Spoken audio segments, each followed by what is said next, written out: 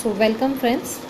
You can see here Zeal-Nielsen technique for Mycobacterium tuberculosis and M. ulcerans. There is one species that is known as Mycobacterium ulcerans and for Mycobacterium what we do we stain with Zeal-Nielsen technique that is the name of the scientist who discovered or who started that technique. So the Zeal-Nielsen technique is used to stain the Mycobacterium species including Mycobacterium tuberculosis, Mycobacterium ulcerans and Mycobacterium leprae. You can see here it is written. So Mycobacteria unlike most other bacteria they do not stain well by the gram stain technique. They can however be stained with carbamazepine combined with phenol. So when you try to stain the mycobacterium जब आप mycobacterium को stand करना चाहते हैं तो वो अच्छे से स्टेन नहीं होता है विद ग्राम स्टेन क्योंकि उनकी जो वॉल का स्ट्रक्चर होता है, उसके अंदर बहुत ज़्यादा माइकोलिक एसिड होता है। तो they can however be stain with the carbol fuchsin combined with phenol तो कार्बल फशिन में फिनॉल आप मिलाते हैं और उसके बाद माइक्रोबैक्टीरियम को स्टेन करने की कोशिश करते हैं। The stain bind the mycolic acid in the mycobacterial cell wall. और ये जो स्टेन है, ये माइकोलिक एसिड्स जो कि आपके माइकोबैक्टीरियल सेल वॉल में मौजूद होते हैं, उसके साथ ये डाई बाइंड हो जाती है। After staining an acid decolourising solution is applied उसके बाद आप इस स्टेन को डिकलराइज करने की कोशिश करते हैं। This removes the red dye from the background cell मगर होता क्या है कि जो आपके बैकग्राउंड में ऑल सारी चीज़ें होती हैं, वो सारी तो डिकलराइज हो जाती हैं, मगर जो आपका माइक्रोबैक्टीरिया होता है, वो लाल ही रहता है due to this stain so tissue fibres and any other organism background cells in the smear except the mycobacteria which retain the dye and are therefore refer to as acid fast bacilli तो इसीलिए इनको एएफबी जो आप यहाँ पे short में देख रहे हैं या एसिड फास्ट बेसिलाई कहते हैं क्योंकि ये जब इनको डिकलराइज़र डाला जाता है जो कि 20 percent H two S O four होता है तो ये डिकलराइज नहीं होते हैं और ये पिंक ही बने रहते हैं जबकि इनके चारों तरफ़ जो मटेरियल होता है वो डिकलराइज हो जाता है। और हाँ, उसके बाद जब हम दूसरी डाई यूज़ करते हैं तो ये जो बैक्टीरिया है, जो एसिड फास्ट बैक्टीरिया जो अभी पिंक था, वो पिंक ही रहता है।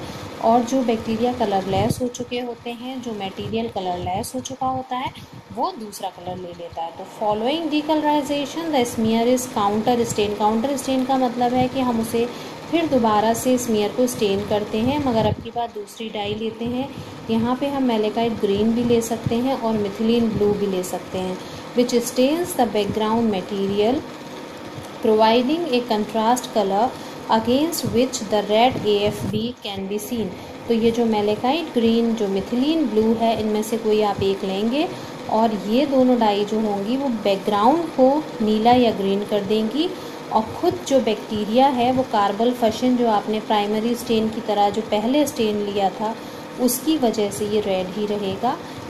And red A F B can be seen तो रेड ए एफ़ बी मतलब एसिड फास्ट बेसिलाई का मतलब है माइक्रोबैक्टीरिया और जो बैकग्राउंड है जिसमें और कोई कंटेमिनेटेड चीज़ है जैसे कि अगर आपने स्प्यूटम का सैंपल लिया है तो उसमें एसिड फास्ट बेसिलाई के अलावा और भी बहुत सारे बैक्टीरिया होते हैं जो आप जानते हैं।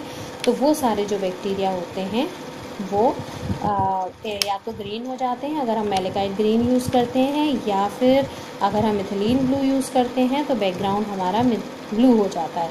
तो कई बार ये क्वेश्चन वाइवा में पूछा जाता है कि हम मेलेकाइट ग्रीन या मिथिलीन ब्लू इनमें से कौन सी काउंटर स्टेन यूज़ करते हैं? कई जगह पे मिथिलीन ब्लू यूज़ होती है तो आपको जवाब देना चाहिए, हम मेलेकाइट ग्रीन भी यूज़ कर सकते हैं।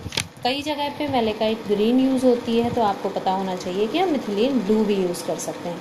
ये क्वेश्चन पूछे जाते हैं। दूसरा, और ऑर्गेनिजम्स कौन से हैं? So some actinomycetes corynebacteria and bacterial endospores they are also acid fast तो कुछ एक्टिनोमाइसिटिस कुछ क्राइनी बैक्टीरिया और कुछ जो एंडोस्पोर्स होते हैं, वो भी एसिड फास्ट होते हैं। नोकार्डिया भी एसिड फास्ट होता है। तो ये भी पूछा जाता है कि और कौन सी जो चीज़ें होती हैं, वो एसिड फास्ट होती हैं। तो ये ऑर्गेनिजम्स के नाम आपको ड्यूरिंग द वाइवा पता होने चाहिए। तो ये आपकी जेड एन स्टेन थी, जिसमें कि हम जो माइकोबैक्टीरिया के लिए स्टेन की जा यूज़ की जाती है और जो कि टीबी का ऑर्गेनिज़म है माइकोबैक्टीरियम टीबी उसके लिए हम जेड एन स्टेनिंग यूज़ करते हैं। इसके अंदर हम प्राइमरी स्टेन कार्बल फशिन लेते हैं, फिर उसके बाद हम H two S O four twenty percent H two S O four लेते हैं, जो डिकलराइज़र की तरह यूज़ होता है।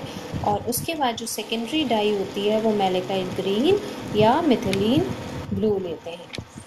तो अब हम देखेंगे कि differences between the acid fastness of mycobacterium species और ये हम देखेंगे दूसरी वाले लेक्चर सीरीज़ में। So you can come and join me in the next series